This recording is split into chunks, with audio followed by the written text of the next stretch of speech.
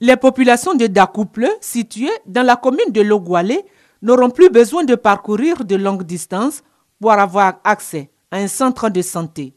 L'ONG américaine Price International a décidé de soulager les plus vulnérables, dont les femmes enceintes, les enfants et les personnes âgées.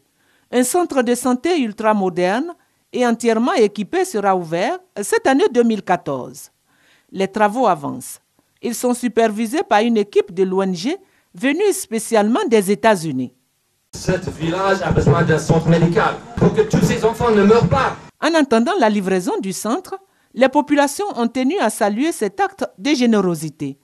Une cérémonie en l'honneur des hôtes américains a été organisée.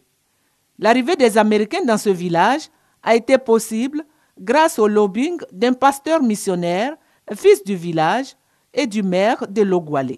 Les autorités ont salué cette nouvelle collaboration qui va permettre aux localités de Logwale de sortir de la précarité et profiter de meilleures conditions de vie. Je voudrais sincèrement remercier nos partenaires américains. Vous faites honneur à toute la population de la commune de Logwale. Nous nous engageons à accompagner tout projet de développement en direction de notre commune de Logwale. Outre les Américains, des élus français s'intéressent également à la commune de Logwale. Des partenariats sont noués pour permettre à cette localité d'amorcer un réel développement.